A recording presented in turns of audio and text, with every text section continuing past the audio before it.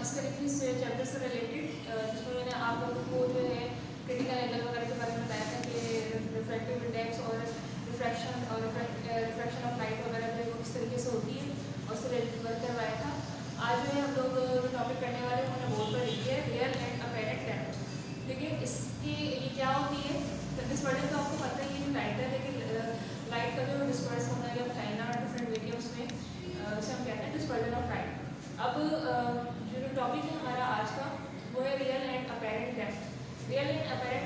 क्या होती है?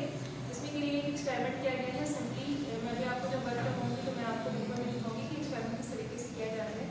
कि यहाँ पर भी जो है वो लाइट का ही सारा रोल है इसमें होता ही है कि टब लिया उस पर वाटर फिल किया उसमें और उसमें एक स्टोन या कोई कोइन कोइन इस्तेमाल किया गया उसमें आपने ड्रॉप किया उस स्टोन को या कोइन को तो वो कोइन जो है वो बॉटम में रहकर बैठ गया अब उसकी हमें यहाँ पर जो है लाइट क्योंकि लाइट जो है वो आपको पता है कि जो ट्रांसपेरेंट चीज़ होती है उससे जो है वो पास होती है लेकिन आगे जाने के बाद जो है वो, अगर वो या तो अगर वो रिफ्लेक्ट हो जाती है तो वो रिफ्लेक्शन कहलाती है। लेकिन अगर वो बैंड हो जाती है, आगे जाने के बाद, यानी अपनी डायरेक्शन चेंज कर लेती है तो बैंडिंग ऑफ़ लाइट होती है, उसे रिफ्लेक्शन कहा जाता है। ये लाइट का किसी मीडियम पर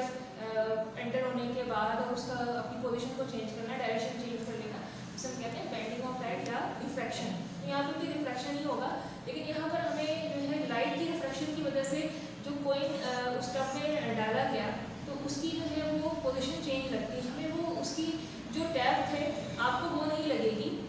जो आप जो रियल है यानी कि पैरेट आपको नज़र आ रही है जो रियल है ये क्यों है due to the bending of light क्योंकि जो लाइट पड़ रही है वाटर पे वो रिफ्लेक्ट हो जाती है क्योंकि आपको पता है कि रिफ्रैक्शन और रिफ्लेक्शन में फ़र्क होता है लाइट किसी ऐसे मीडियम से गुजरेगी तो आप जो लाइट जहाँ पर लाइट पास नहीं हो सके या स्ट्रिक होकर वापस पलट ना सके तो फिर वो क्या होती है कि वो बैंड हो जाती है लाइक अगर आप किसी ग्लास से भी गुजारेंगे तो ग्लास से गुजारने के बाद सपोज़ दैट आपने एक जगह पे वो ग्लास रखा है और उसके बिल्कुल फ्रंट से अगर आपने टॉर्च लाइट दिखाई तो टॉर्च से जो लाइट के रेज जाएँगे, वो उस ग्लास से पास होने के बाद लेकिन उस ग्लास से पास हो जाएँगे और पीछे की जाने वो चले जाएँगे उनके रेस तो वहाँ उनकी पोजीशन चेंज हो जाएगी। स्ट्रेट नहीं जाएँगे, बल्कि वो थोड़ा सा बैंड हो जाएँगे। इसी तरीके से वाटर के भी यही होता है कि वाटर में भी जब के रेज जो है वो दाखिल होते हैं तो वहाँ पर क्या होता है कि वो अपनी पोजिशन को या डायरेक्शन को चेंज करते हैं जिसकी वजह से जो चीज़ होती है साइड दी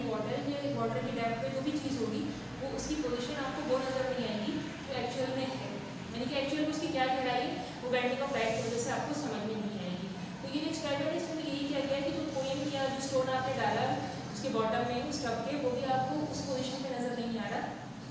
जो उसकी रियल जो है वो डेप्थ है। बल्कि जो, यानी कि जो रियल और अपेरेंट अपेरेंट आपको जो नज़र आ रही है, वो कुछ और नज़र आ रही है, जबकि उसकी जो रियल डेप्थ है, वो अलग है due to the bending of light ठीक है तो ये छोटा सा एक्सपेरिमेंट था अब इससे रिलेटेड जो है वर्क क्या करना है ना आप इसका वर्क देख लें। देखें यहाँ पर जो मैंने अभी आपको एक्सप्लेन किया था, वो आप यहाँ पर इसको डायग्राम के थ्रू समझ सकते हैं कि किस तरीके से जो है आप